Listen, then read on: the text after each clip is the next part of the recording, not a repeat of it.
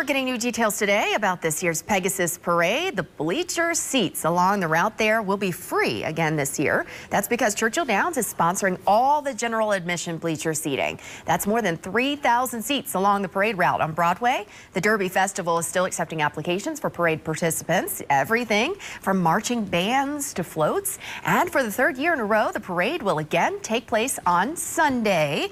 The parade uh, date is April 28th at 3 o'clock.